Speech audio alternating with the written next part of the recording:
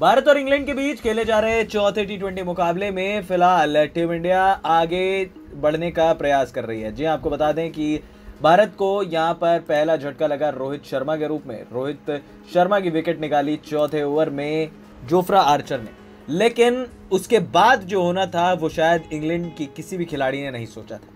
दरअसल, अगली ही गेंद पर यहाँ पर कप्तान विराट कोहली ने अपनी जगह भेज दिया सूर्य कुमार यादव, जो कि अभी अभी अपने करियर का आगाज़ कर रहे हैं। और आते ही, पहले ही गेंद पर सूर्य कुमार यादव ने अपने कप्तान को निराश नहीं किया और जड़ दिया गगनचुंबी छक्का।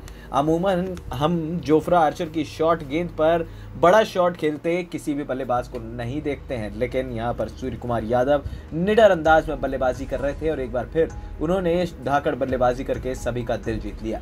ये एक ऐसे खिलाड़ी हैं जिन्हें मौका काफ़ी देर से मिला है और अब इस मौके का ये पूरा फ़ायदा उठाना चाहते हैं। अब ये देखना होगा कि भारतीय टीम और ज़्यादा यहाँ से कितने रन बनाती है। पाँच ओवर में भारत का स्कोर करीब पैंतीस रन हो चुका है और भारत की पूरी कोशिश होगी कि ज़्यादा से ज़्यादा रन बोर्ड पर लगाए जाएँ और टीम इंडिया यहाँ पर धाकड़ प्रदर्शन कर फैंस का दिल जीत ले।